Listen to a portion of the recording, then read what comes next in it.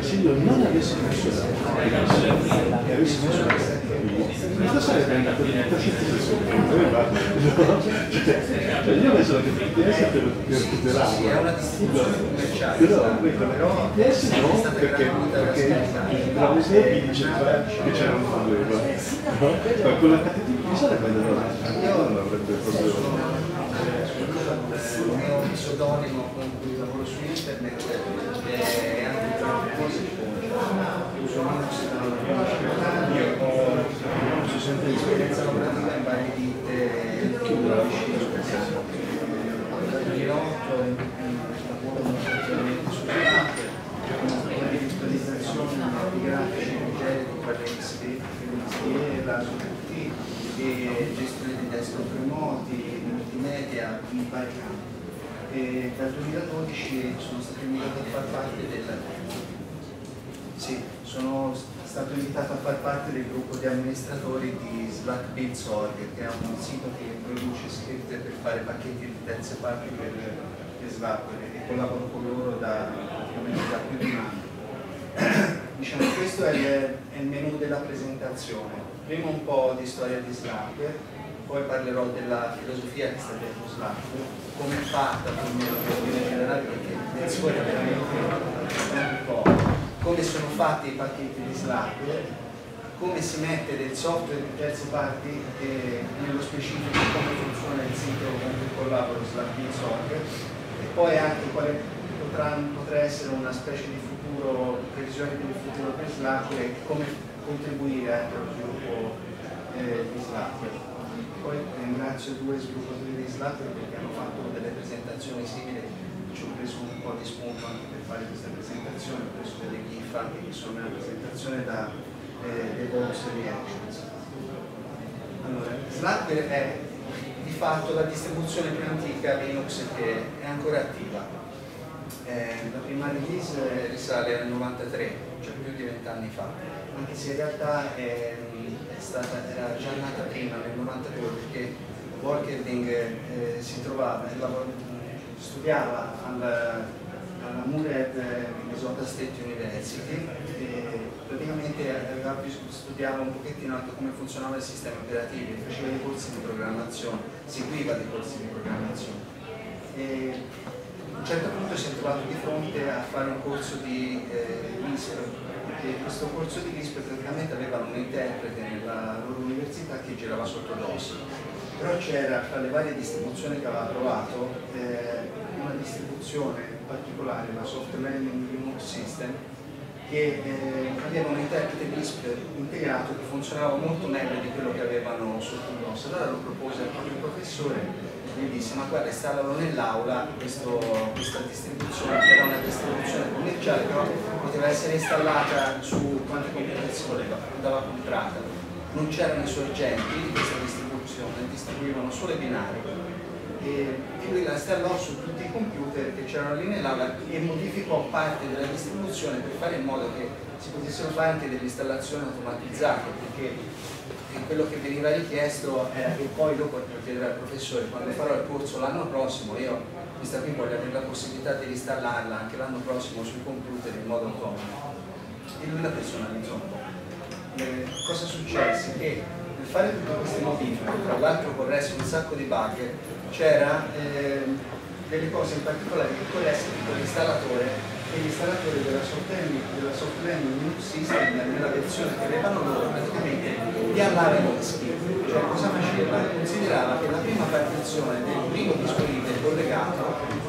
fosse una partizione di swap in realtà sulla prima partizione del primo disco collegato in genere c'era installato un sistema operativo quindi praticamente quando uno installava la software Linux System così come veniva distribuita cancellava il disco che c'era. Lui sistemò anche questa cosa qua e tanti degli utenti anche di software di Linux System mi dissero ma perché non la distribuisci questa personalizzazione che hai fatto che, che con tutti i bug che c'è correndo fanno non ci piace i dischi forse è il caso che si usi questa invece che l'altra no? e lui tirò fuori questo nome Slackware perché lui è un è un adepto della chiesa del Sabginus, la chiesa del Sabginus una delle cose che, che diciamo, è una chiesa ironica, è una chiesa per, per ridere, ecco, per ridere delle altre. E, e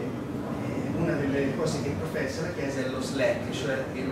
riposo indolente e quindi fece questa distribuzione che nelle sue idee doveva essere una distribuzione dove uno si trovava già tutto bello e pronto, non doveva fare nessuna fatica per installarla, così com'era la usava e quindi la chiamò Slackware.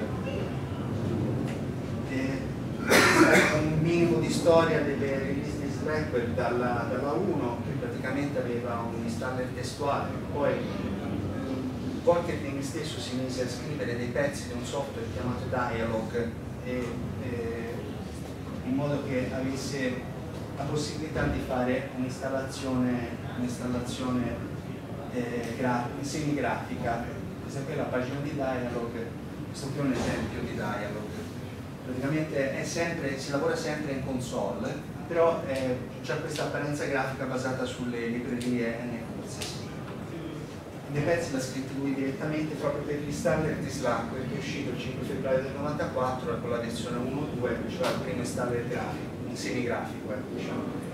poi c'è la versione 3.3 che è uscita nel 97 che è la distribuzione più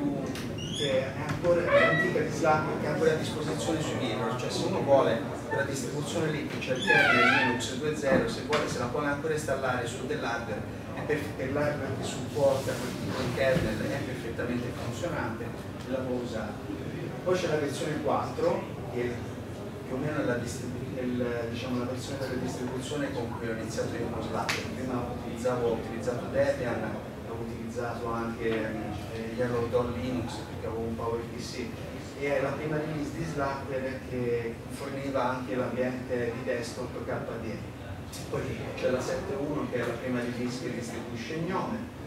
poi c'è la 10.2 che è la prima release dove Gnome non viene più eh, distribuito perché praticamente era diventato troppo oneroso da mantenere, quindi siccome la maggior parte della distribuzione l'ha sempre sviluppata da solo Walker, eh, ha continuato a svilupparla da, da solo nel corso degli anni, non ce la faceva a mantenere un ambiente grafico complesso come Gnome, quindi a un certo punto nel 2005 l'ha abbandonato, altre persone si sono offerte di entrare diciamo, al posto suo per mantenere una versione per Slack, sono sorti altri due progetti, uno che si chiama eh, Gnome Slack Build e un altro che si chiama eh, Dropline Gnome. Eh, in realtà però anche loro rimangono sempre un po' indietro perché Gnome è sempre più complesso e non, ce la fa, non sono tante persone, non ce la fanno starci dietro. E poi con la versione 11 è l'ultima release dove c'era il kernel 2.4 a disposizione, era già stato inserito il 2.6, con la 12.1 c'è la prima installazione di rete funzionante di HTTP, FTP, NFS 1, poteva installarlo anche con un dischetto minimale, metterlo nel computer e poi si installava tutta la distribuzione delle reti. Con la 13 diciamo, ci sono cambiamenti un po' più grossi perché a parte l'inserimento di KDE 4 che sostituisce KDE 3 eh, è la prima versione che viene offerta di Slackware anche a 64 bit. Per offrire una versione a 64 bit praticamente tutti i pacchetti sono stati compilati. In genere le versioni precedenti i pacchetti spesso se non c'era bisogno non venivano nemmeno ricompilati, c'erano dei pacchetti che venivano offerti, faccio per dire, con la versione 12 che magari risalivano alla versione 7.1 perché il motto è sempre stato se non è rotto non c'è bisogno di aggiustarlo, i pacchetti funzionavano e venivano distribuiti bene. Invece con la versione 64 bit, siccome doveva essere una versione completamente nativa, tutta 64 bit, hanno dovuto ricompilarla tutta e hanno dovuto adattare gli scritti in modo che fossero utilizzabili sia sulla versione a 32 bit che sulla versione a 64 bit. È stata una verifica globale, un passo importante, tra l'altro è una delle prime distribuzioni a 64 bit che è uscita. E, e poi c'è la versione 14 praticamente che è l'ultima distribuzione eh, versione stabile, nel mezzo c'è già la 13.1, la 13.37 e poi la 14 e la 14 praticamente c'è di importante il salto da AL a UDEV e l'allineamento con l'architettura ARM perché di Slackware ne esiste anche una versione specifica per i processori ARM curata da un'altra persona che si chiama Stuart Winter è sempre un collaboratore di Slackware e, e, con la versione 14 praticamente le versioni del software distribuito si sono allineate. E, cosa c'ha Slackware di particolare? Che Slackware è la distribuzione Linux è più simile agli Unix che la gente era abituata a usare vent'anni fa, ma anche fino a pochi anni fa, cioè se uno utilizza Slackware, la struttura del file system e tanti dei tool li ritrova in qualunque altro Unix che va a utilizzare. Cioè, si è evoluta nel corso del tempo, però ha sempre mantenuto la base di tool e il, diciamo, le cose che offre come base sempre le solite, non, non è mai cambiato come struttura diciamo, introducendo dei sistemi nuovi, per esempio ci sono le altre distribuzioni hanno inserito un sistema di autenticazione eh, che si chiama PAM. Eh, eh, praticamente questo sistema di autenticazione eh, Workerding non l'ha mai inserito perché ha pensato che non funzionava eh, e, niente, e quindi ha adattato tutto il software che poi ha distribuito in Slack in modo che non supportasse eh, per niente questo sistema PAM. Ora si è parlato di inserirlo ora che sono passati tipo 12 anni quando è stato inserito, però tuttora non l'ha ancora messo, una volta l'ha paragonato al Groviera perché diceva che era una cosa che non era particolarmente sicura. E, però insomma è rimasto sempre molto stabile come organizzazione. Non ha, Slackware non ha una data di rilascio fissa, mentre c'è distribuzione tipo Ubuntu che viene detto il giorno X viene rilasciata la nuova versione, eh, Slack viene rilasciata quando è pronta, cioè il motto è it's ready when it's ready, cioè, prima no, quando lui decide che a quel punto lì va bene, è stabile, funziona tutto, non c'è più nessun problema e ci vuole un po' perché testa parecchio la distribuzione, in quel momento lì viene rilasciata. Quindi il software che viene incluso però non è che sia software vecchio, è software recente, soltanto viene molto testato, viene sempre verificato se funziona con tutto. Ora per esempio sta per uscire la nuova versione che è la 14.1 e sono uscite già le prime RC della distribuzione, siamo già oltre la RC2. Al momento che ha dichiarato la distribuzione RC2, faccio per dire, ci ha messo il compilato l'ultima versione del GCC che è uscita, il compilatore 482 che non ce l'ha nessun'altra distribuzione, semplicemente perché ha valutato che tra la 481 e la 482 del compilatore fosse solo per una versione di bug fix e anche se non ce l'aveva nessuno lui ce l'ha messa e ora uscirà una nuova versione a giorni, giorni forse passerà anche un pochettino qualche settimana e che ha la versione di compilatore più aggiornata di tutti i Linux che ci sono. Poi un'altra cosa molto importante è che non esiste uno strumento centralizzato in Slack per la configurazione del sistema. Io non so se qualcuno di voi usa SUSE o altre distribuzioni simili, su SUSE c'è uno strumento che si chiama YAST che praticamente permette la configurazione centralizzata del sistema, la rete si configura da YAST, il monitor si configura da YAST,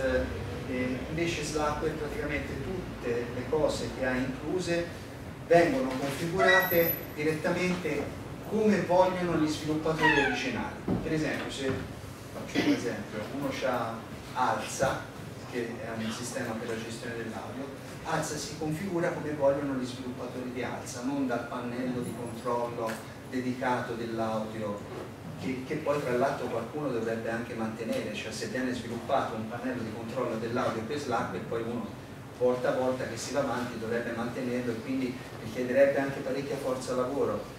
È un po' diciamo, una scelta tradizionalista e un po' anche una scelta di necessità perché lui è da solo a gestire questa cosa, quindi eh, però è, è, una scelta che funziona poi alla fine. I file di configurazione eh, di Slack il 99 su 100 sono dentro Edge, sono dentro la cartella del file system Edge, sono file di testo, sono leggibili,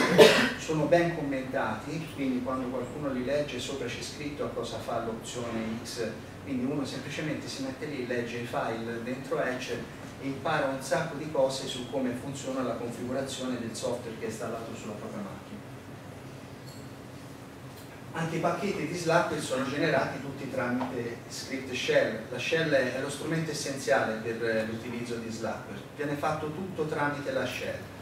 Eh, io per esempio l'unica cosa che utilizzo sul computer a parte la shell sono Firefox perché ormai tutti i siti vanno visti in modalità grafica e uso Thunderbird per pigrizia, però tante persone leggono la posta, faccio per dire, con eh, Pine o con altri strumenti testuali, non hanno necessità di questo. Però io uso, diciamo, sono pigro e sono abituato ormai a, usare, a leggere la posta in ambiente grafico, però a parte Firefox e Thunderbird io faccio qualunque altra cosa faccio sul computer tramite la shell in effetti si può fare tutto. Io quando ho imparato a usare Linux, la prima cosa che mi ha detto la persona che mi ha spronato, mi ha detto guarda leggiti il manuale di Bash, perché la cosa più importante che userai sul sistema che vai a usare è la shell da cui farai tutto. Infatti anche gli script di, di, diciamo, per generare pacchetti di Slack sono fatti tramite la shell. E cosa fanno gli script? Praticamente quando uno installa un software un software generato con le autotools cosa fa? Fa configure, make e make install. Gli script di Slack fanno la solita procedura che uno farebbe manualmente, semplicemente messa per esteso in un file, in uno script. Se c'è delle correzioni da fare, tipo che ne so, viene fatta qualcosa di particolare che eh, non è il caso di fare oppure non è applicabile a Slack, viene corretto, però in genere, in genere non viene toccato niente nella procedura di installazione di un programma mentre altre distribuzioni come Ubuntu personalizzano il pacchetto mettendoci quella cosa, l'impostazione, eh, che ne so, grafica, che tipo Ubuntu style o queste cose qua. Slackware lascia sempre tutto com'è, non tocca niente perché la logica è quella di lasciare tutto semplice, leggibile, quindi keep it simple, stupid. Appunto, e se non è rotto non aggiustarlo, non ti mettere a smanettare dove non devi, lascia tutto com'è. Poi se c'è qualche problema eventualmente segnalalo agli sviluppatori originali. Se pensi che quello è il pacchetto che ti viene offerto cioè abbia qualche funzionalità che non c'ha non c'è da aggiungere. Informa gli sviluppatori originali e loro penseranno eventualmente a aggiungerla alla base del codice questo penso ah, ecco, non ci sono strumenti specifici di configurazione non centralizzati e nemmeno singoli. L'unica cosa ci sono siccome appunto lui aveva sviluppato questo dialog, eh, ha creato degli script shell e dialog per la configurazione della rete oppure per, so, per configurare quale window manager uno vuole eh, diciamo, come default eh, per, per l'utilizzo quotidiano, però niente di più di quello. E, questa cosa qui forse l'ho già detta. E, niente, sì, praticamente ecco, la cosa fondamentale è questa, cioè che Slackware non entra, diciamo, non suggerisce delle soluzioni non richieste, cioè se uno install vuole installare Linux e vuole personalizzarlo, usarlo come gli pare, Slackware è una delle, distribuzioni più semplici da usare perché avendo questa struttura tutta di file testuali, file di shell, è estremamente personalizzabile è talmente personalizzabile che è la, una delle 3-4 distribuzioni diciamo, che è stata eh, forcata più volte, cioè è stata presa Slackware, è stata personalizzata facendoci altre distribuzioni insieme a Debian, a Fedora e, e Fedora Red Hat e a Ubuntu in tempi recenti. Praticamente ci sono un sacco di fork di Slackware in giro eh, prima l'ho fatto vedere quando ho parlato della distribuzione critica di Linux. Fatto, ah, ecco, questa presentazione è una presentazione HTML, è disponibile eh, su internet a un indirizzo. Questi clic che vedete in celeste sono tutti clic linkabili, ora poi alla fine se volete poi approfondire questo genere di cose potete andare sul sito, cliccare sui link e, e vedervi anche questa cosa, una diciamo di queste cose qua, questa qui per esempio è la New Linux Distribution Timeline che fa vedere le varie distribuzioni, quante volte sono state diciamo, forcate e sono state create nuove distribuzioni. Questa è la Red Hat, questa è Slackware, da cui per esempio faccio vedere questa linea verde è SUSE, SUSE è nata come la traduzione in tedesco di Slackware. quella lassù in cima è Debian, e, e poi c'è eh, sotto, sotto Debian questa qua è Ubuntu. Praticamente infatti anche Ubuntu ha moltissimi fork eh, però diciamo dopo queste tre quella più, più forcata è proprio Slack.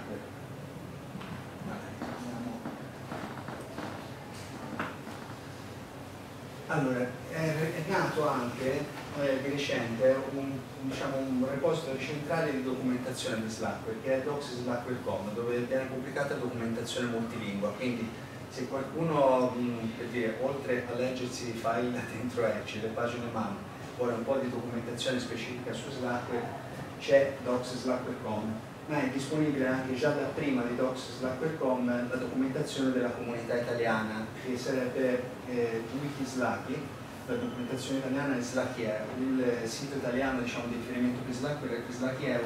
e qui pure c'è tantissima documentazione che è stata fatta dagli utenti italiani nel corso degli anni. Ora, una cosa importante da dire di Slackware è che non c'è eh, lo sviluppo di Slackware è chiuso,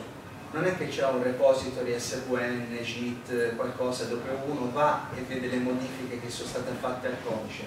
C'è il changelog di Slack dove viene detto ho fatto questa modifica, quest'altra, ma non sono dettagliate questo genere di modifiche.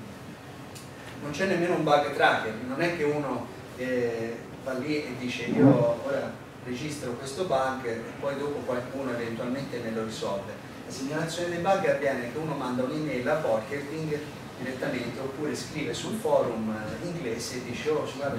c'è questa cosa che non mi funziona fa così. Però ecco questa cosa qui non vuol dire che la cosa in genere le segnalazioni vengono sempre prese molto sul serio non vengono prese sul serio soltanto da Volker quindi c'è un gruppo di persone che lavora insieme a Volker sulle cose. Io per esempio mi è capitato di recente di occuparmi di Firefox ci ho fatto la traduzione italiana fatto, ho adattato lo script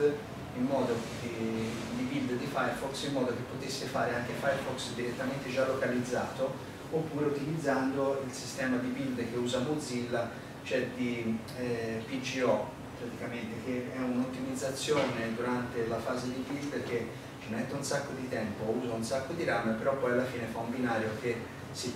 comporta molto meglio, va molto più veloce. Ora, mh, mm, dicevo prima, uno può suggerire diciamo, nuove soluzioni per Slackware eh, facendo delle proposte e tutto, però poi alla fine chi decide sempre alla fine è Volkerding che è soprannominato anche BDFL, cioè Benevolent Dictator for Life, cioè il dittatore eh, benevolente a vita, perché lui avrà sempre l'ultima parola su Slackware finché campa e, decide lui cosa metterci e cosa non metterci dentro Slack. Anche detto The Man. Eh, eh sì, detto anche The Man. e, quindi ringrazio diciamo, la varia comunità Slack. Ecco,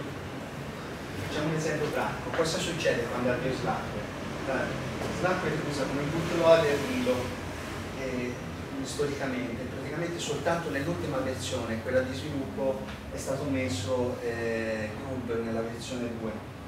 perché praticamente Grub nella versione 2 si comporta molto meglio di reboot da BIOS EFI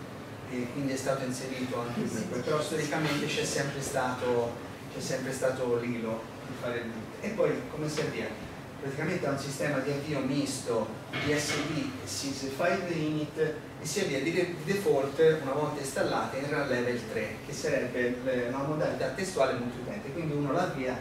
e c'è una schermata così no? e uno dice Dio ma che è sta roba? Dice, ma sembra DOS no? c'è una schermata testuale così che roba è dice no è così perché in effetti l'utente ha la possibilità di scegliere come usare Slack una volta che l'ha installata può usarla uno o in modalità testuale e quindi c'è tutta una serie di strumenti per usarla esclusivamente in modalità testuale c'ha um, lettori di news, client di posta in modalità testuale browser testuali, client di rete FTP di qualunque tipo, editor, lettori multimediali qualunque cosa c'ha per usarla in modalità testuale uno poi può usarla anche per farci un server, quindi magari la modalità grafica non gli serve proprio a niente, insomma, quindi parte in modalità testuale. Poi se uno vuole avviare la modalità grafica, scrive start X, parte X e utilizza la modalità grafica.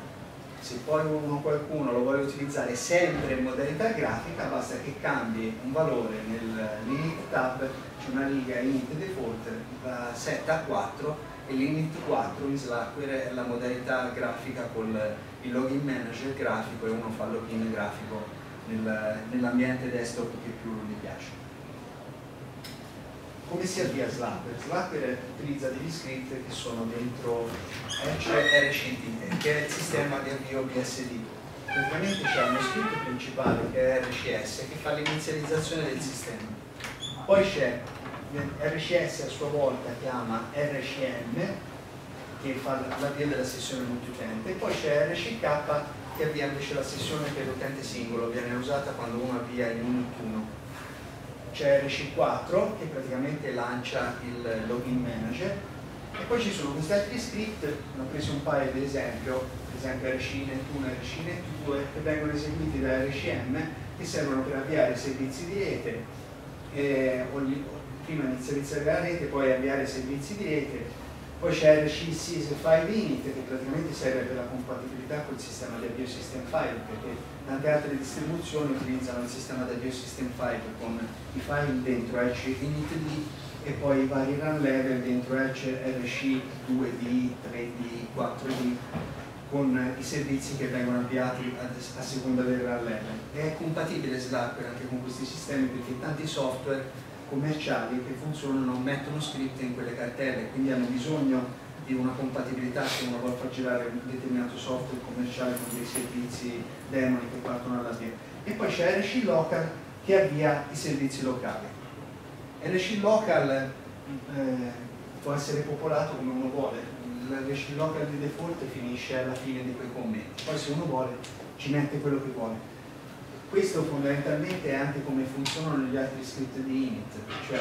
come funzionano. Se c'è un file che si chiama libvirt, questa è proprio sintassi shell script, eh?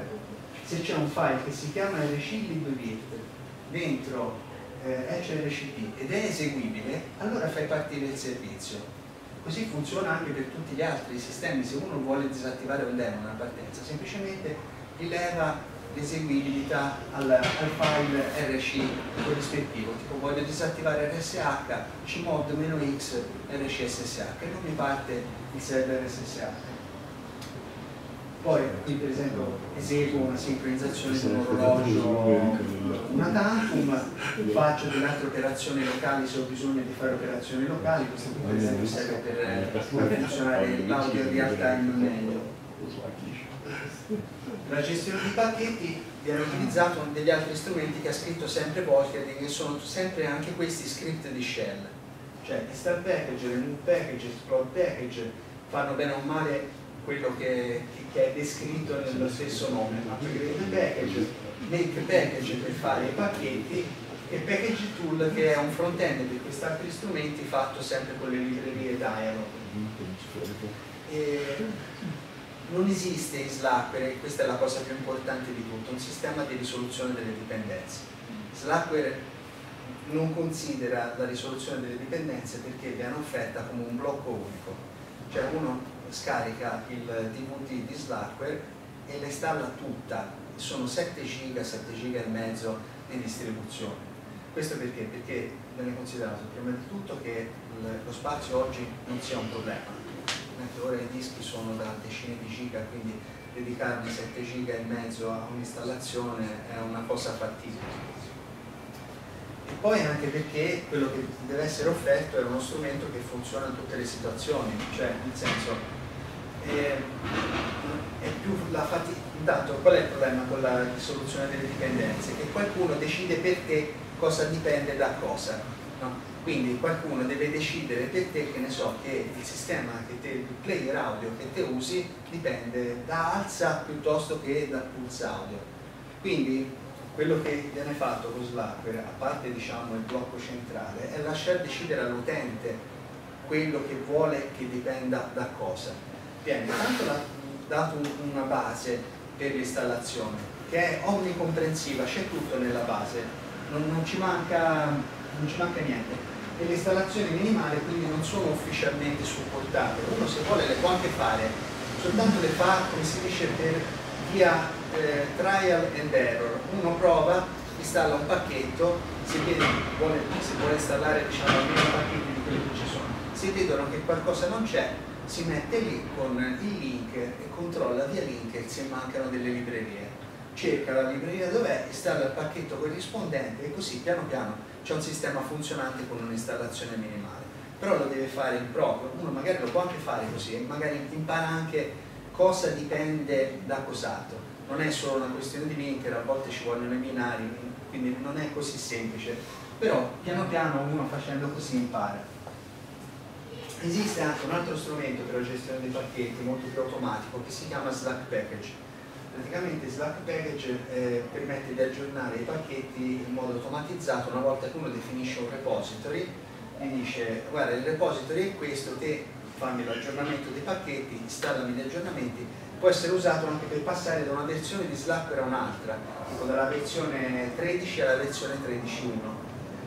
ci sono anche degli strumenti di terze parti che si offrono di risolvere le dipendenze, fare quello che non fanno gli strumenti che ci sono in Slack, tipo Slack Etiquette, eh, e anche dei repository di pacchetti gestiti da persone di terze parti. Però è molto delicato sempre perché intanto bisogna avere fiducia nei repository che si usano, può darsi che alla fine queste persone che fanno i pacchetti ci mettano dentro qualcosa, ci mettono anche degli spyware, no? quindi uno bisogna che abbia fiducia nelle persone che aprono questi repository di pacchetti e quindi in genere conviene sempre gestirseli da sole l'aggiunta di pacchetti ulteriori rispetto alla Slack. Io ho fatto un esempio che succede quando si gestiscono male i pacchetti. E come sono fatti i pacchetti Slack? Sono la cosa più semplice del mondo. Praticamente sono un albero di cartelle dentro un file TAR compresso, non c'è nient'altro dentro un pacchetto Slack, c'è solo il contenuto, quello che serve, che viene una volta compilato, lo sviluppatore originale vuole che sia nel pacchetto. E non c'è proprio nient'altro, tra l'altro gli strumenti di installazione di Slackware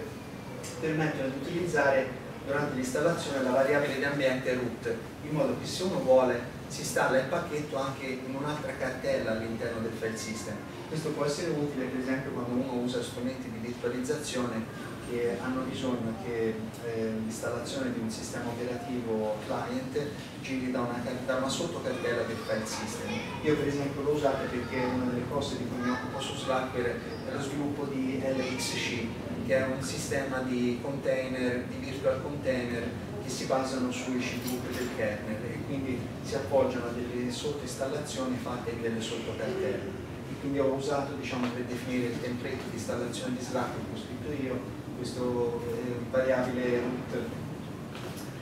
L'unica cosa che c'è aggiuntiva nel pacchetto è una cartella install che contiene due file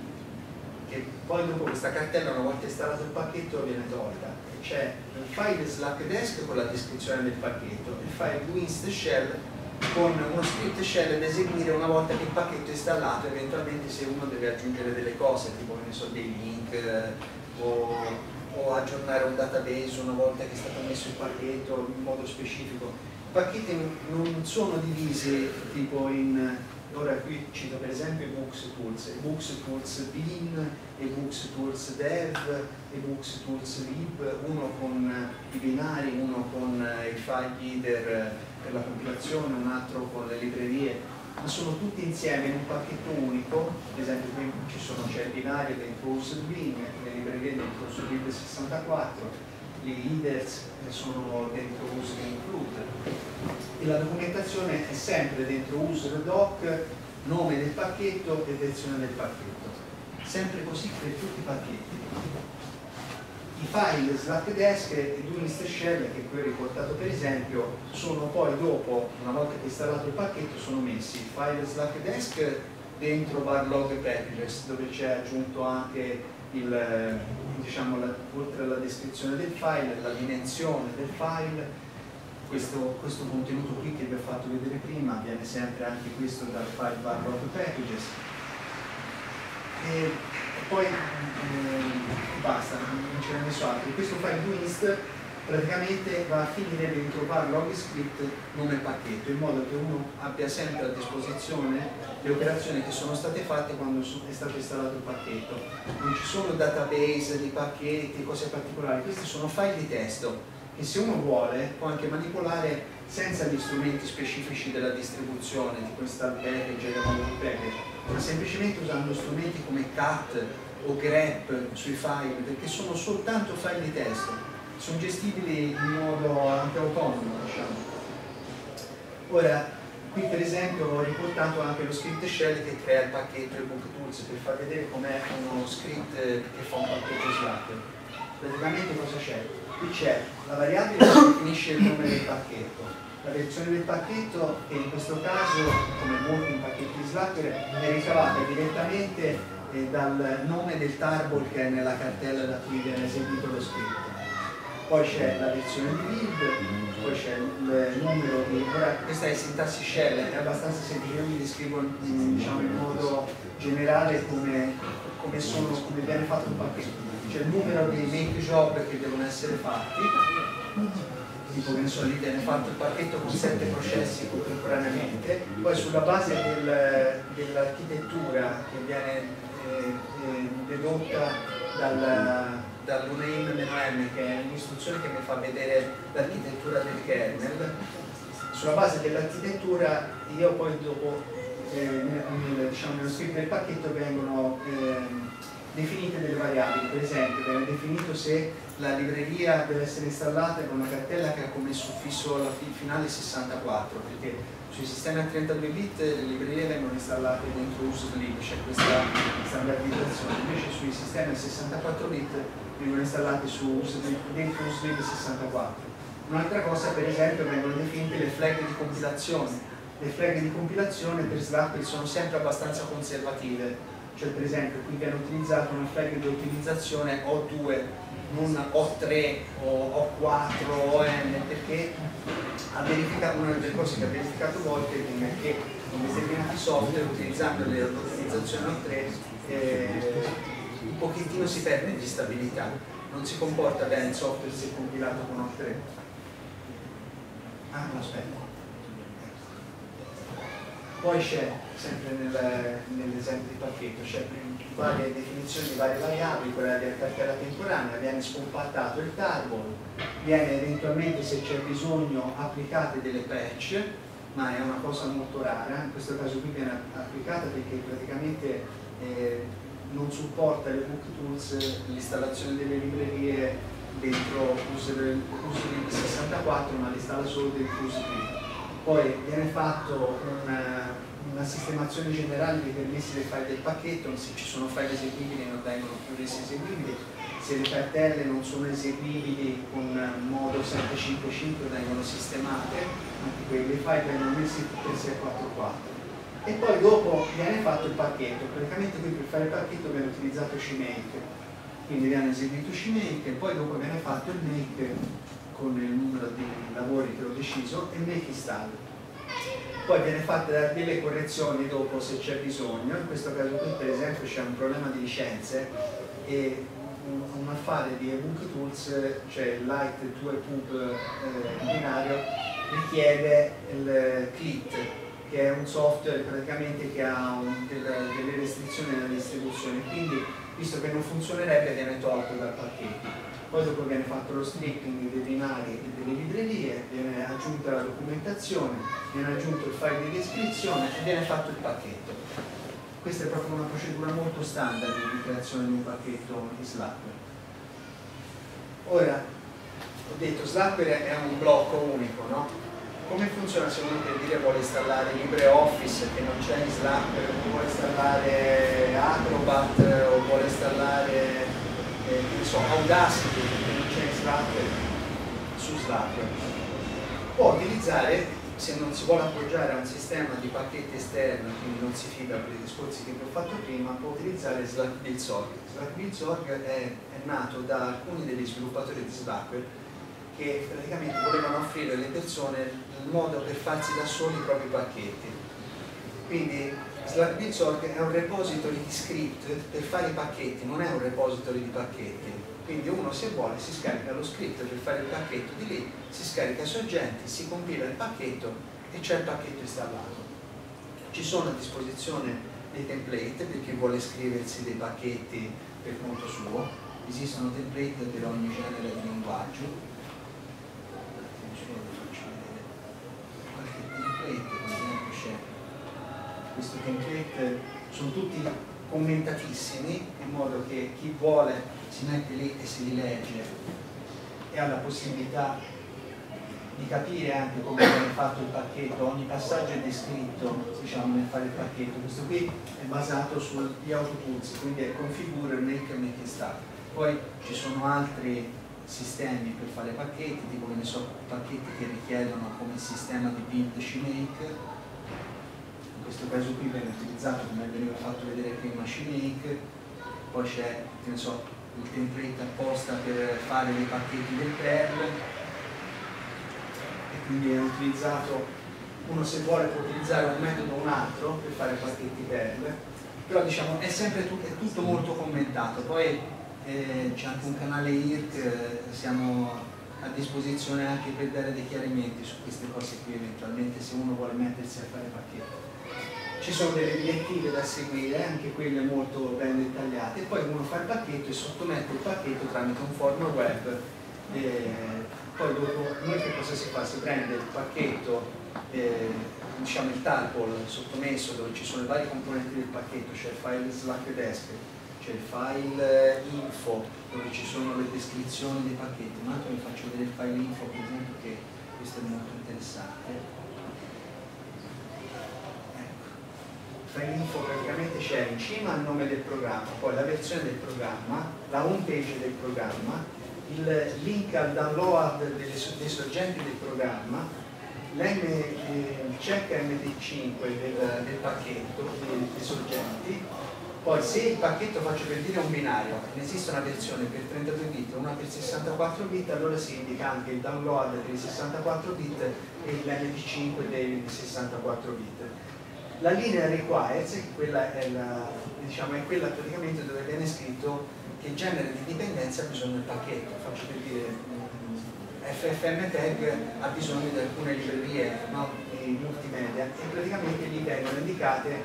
in quella riga, nella riga requires. Poi il file RDMI è indicato pure quello in alcune situazioni quando per esempio io per installare un software devo creare un utente prima. Se devo creare un utente, la cartella deve avere il permesso di un utente, descrivo queste cose nel file RDMI e quindi è richiesto che le persone che installano qualunque pacchetto prima si leggano il file readme del pacchetto. In questo modo se c'è dei passaggi da fare prima dell'installazione, uno prima lo legge nel file readme. Poi è indicato il nome del maintainer e l'email.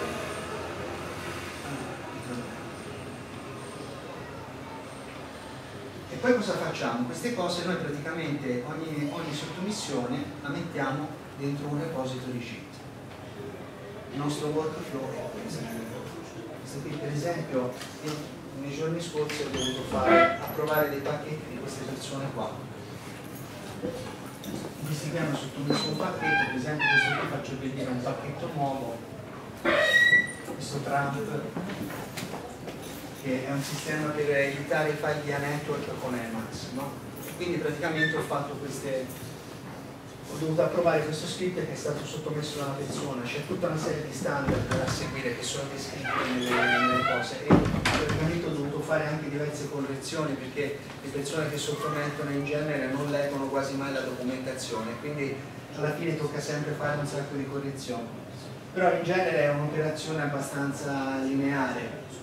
Poi dopo, a un certo punto, quando c'è tutta una serie di script sottomessi, praticamente il lavoro, per esempio, che eh, anche Robin Walkman, che è un altro degli amministratori di Slackville Soccer, il mio viene unito insieme e viene mh, mm, eh, registrato nel repository principale, che è un repository anche, anche HTTP, e le persone possono utilizzarlo diciamo, con dei tarball firmati, al di fuori diciamo, dalla, dal procedimento tramite Git. Ora esiste anche uno strumento che tutta questa operazione di scaricare il tarball eh, scaricare i sorgenti del software, eh, compilarli, installare i pacchetti lo fanno in automatico. Questo eh, tool si chiama Sgo Package, è un tool comodissimo praticamente. E io per esempio lo utilizzo sulle mie installazioni, uso, supporta delle code di compilazione, faccio una coda di compilo contemporaneamente 384 pacchetti senza nessuna interruzione e dopo mezza giornata ha finito e io ho tutto il software fresco fresco compilato per le installazioni. Un po' alla Gentoo, ecco diciamo però su Slack è una cosa che viene fatta proprio eh, ogni tanto perché Slackware è una distribuzione molto stabile, quindi non cambiano versioni di librerie, non c'è bisogno di fare aggiornamenti continui, basta farlo una volta ogni tanto questa operazione qua e uno ha software aggiornato di qualunque tipo sulla propria macchina. Io per esempio gestisco anche nello specifico, siccome eh, SlackBits gestisce, cioè supporta soltanto la versione stabile di Slackware, io personalmente gestisco anche un repository dedicato alla versione current di Slackware, che sarebbe la versione di sviluppo che praticamente viene rilasciata una versione stabile, poi viene sviluppato in questo ramo current Slackware che ha sempre pacchetti aggiornati, a un certo punto viene introdotta, che ne so, una nuova libreria C o un nuovo compilatore che rompono la procedura per fare i pacchetti e quindi i pacchetti devono essere patchati. Siccome io ne uso veramente tanti pacchetti perché mi occupo di multimedia, una cosa o un'altra, allora ho fatto questo, questo branch JIT che gestisco io, praticamente dove un sacco di roba che uso la adatto per funzionare sul current. Ora siccome eh, la, versione current praticamente a distanza di un anno da quella stessa ci sono state talmente tante modifiche che per usare i pacchetti che non uso io ho dovuto modificare 150 pacchetti diversi e qui ci sono registrate tutte le modifiche questo repository è a disposizione per chiuso. Quasi finito. Allora, possibili evoluzioni future. Eh, praticamente Slackware da recente è stato sincronizzato con, con eh, diciamo, il suo port che ha anche l'architettura ARM. Eh, però in realtà eh, Alien Bob, lo sviluppatore che ha fatto diciamo, il, buona parte del port 64 bit, ha ora messo tutti gli script di build di Slackware per la prima volta in un repository cheat e ha fatto in modo che potessero essere utilizzati su più architetture, 32 bit, 64 bit, ARM, così. Quindi in questo momento eh, c'è anche la possibilità di compilarlo per architetture nuove, per esempio uno se vuole oggi Slack utilizzando il repository di Alibox può compilare il suo telefonino perché questo qui ha un processore ARM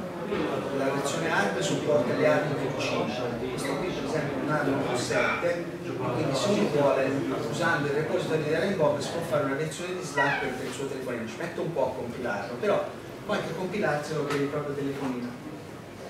poi un altro problema, eh, diciamo un'altra cosa del futuro sono i limiti dovuti alla necessità di mantenere standard semplici. Siccome deve essere mantenuto semplice, tante cose non possono essere introdotte. Una di queste cose per esempio il System D. Non so se avete sentito parlare del System D. È un nuovo sistema che dovrebbe sostituire init dentro Linux, no? Che è un po' eh, cioè, diciamo, è una cosa un po' che va contro la filosofia di Unix, perché Unix cosa dice? Avere tanti processi dove ognuno fa la sua cosa e la fa bene. No? System D cosa fa? È un po' come il Signore degli Anelli, no? C'è un anello che li comanda tutti e lì c'è un processo che sostituisce init e fa tutto lui. E se c'è un bug in System D si pianta tutto e non va più niente. Quindi è diciamo tante persone non, non gli piace questa soluzione perché è proprio concettualmente sbagliata rispetto a come dovrebbe funzionare un sistema Unix. Ora però cosa succede? Siccome quelli che sviluppano sistemi sono la Red Hat e la Red Hat decidono loro che cosa deve essere messo dentro Linux oggi rispetto a altre case, andrà a finire che uno systemd poi alla fine lo dovrà mettere per forza dentro la distribuzione, anche se vuole mantenersi classico, vuole rimanere uno Unix classico, poi systemd ci dovrà entrare per forza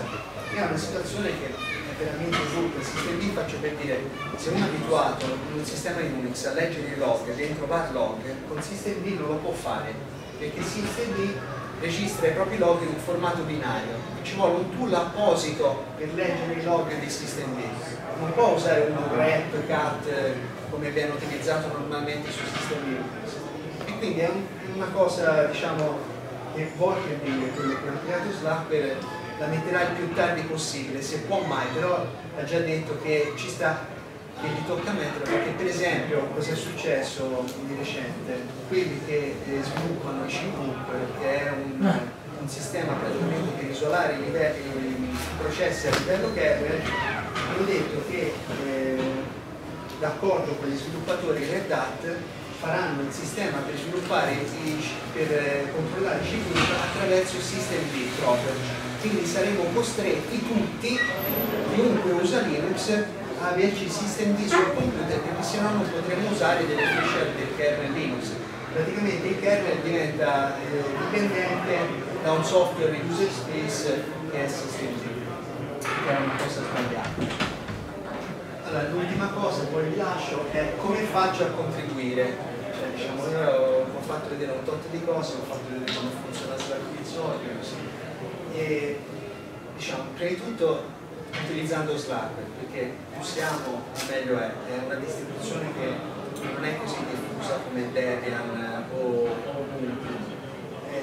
quindi più persone siamo più a usarla e, e sicuramente c'è più persone che la testano, più persone che aiutano nel debug quindi partecipare alla comunità italiana Slacchieo è già un bel passo poi se avete voglia potete partecipare anche al forum ufficiale in inglese che sarebbe linuxquestions.org e potete proporre eventuali correzioni, innovazioni però sempre con procedure documentate o addirittura meglio ancora delle patch fatte con diff in modo che chi vuole poi eh, applicare diciamo, queste procedure che voi dite usa il comando patch, le applica direttamente sui oggetti, le compila e può testarli in modo pratico. Evitate diciamo, teorie, ipotesi, spiegazioni, ma secondo me sarebbe meglio così, secondo me si farebbe meglio così, perché se non è documentata o addirittura con una patch pochi mi considereranno perché veramente su questi forum passa un sacco di gente che dice ma a me mi garberebbe che fosse più simile a Ubuntu, a me mi garberebbe che fosse più simile a Debian, così. La risposta in genere scusa, allora usa Debian, allora usa se vuoi fare delle modifiche che vuoi che siano accettate. Prima di tutto consigliali agli sviluppatori originali, ci sta che chi sviluppa quel settore software che vuoi modificare magari ne possa beneficiare appunto anche Debian o Ubuntu la modifica che consiglia. E poi eventualmente se invece vuoi fare delle modifiche vuoi però non alterare quello che è Slack che è una, una cosa veramente molto semplice, molto lineare ma dice fallo in modo documentato e spiega bene perché vorresti fare così poi un'altra cosa ancora che si può fare per contribuire è contribuire degli script di build a Slack Build Praticamente l'unica cosa, l'unico requisito per fare questo è avere un minimo di dimestichezza con Bash. Bisogna che eh, sappiate un pochettino gestire la programmazione Bash, è una cosa che ci vuole un poco di pratica, però i template tanto aiutano perché uno già nei template li vede più o meno come funzionano le cose. Le cose da correggere in genere per un pacchetto sono poche, attenetevi alle regole e, e se avete tempo e voglia prendete un po' di dimestichezza col sistema di sviluppo tramite JIT perché praticamente ormai JIT sta diventando il, sistema di controllo versione più diffuso nel mondo. Cioè, chiunque inizia a sviluppare oggi lo fa tramite JIT tanta gente passa da SQL a JIT l'unica eccezione forse è chi sviluppa con Mercurial e tante persone che sviluppano con Mercurial preferiscono, diciamo, per non fare la fatica di passare con JIT, eh, eh, di, di, passare JIT, lavorare con Mercurial. Eh, per esempio gli sviluppatori Mozilla lavorano ancora con Mercurial, però il 99, 90% delle persone che iniziano a programmare oggi lavorano con JIT anche perché esistono dei posti pubblici dove uno può pubblicare il proprio codice, la gente può contribuire, può citare, Gitorius, Codaset e così via. Qui ci sono i vari riferimenti, poi dopo quando vi do l'indirizzo potete anche cliccarci sopra, c'è il sito ufficiale, c'è un paio di interviste a volte, ci sono altre due presentazioni su Slack, una fatta dallo sviluppatore del Camers e un'altra fatta da Vince Buzz c'è il sito della documentazione ufficiale, della documentazione italiana, le pagine di Wikipedia su Slack che sono abbastanza ben documentate sia quella italiana che quella in inglese. Se poi volete dare un'occhiata eh, sul kit eh, nostro per vedere anche che lavoro faccio io, meno male, li vedete da questi link qua che praticamente fanno un grep nel, sia nel, nei vari commit che nell'autore dei commit sul repository di Slack Pizzo Queste slide le trovate a questo indirizzo qua, se poi le dovete rileggere anche successivamente, ora poi le richiamo anche su questo indirizzo anche sul sito del lì è la, la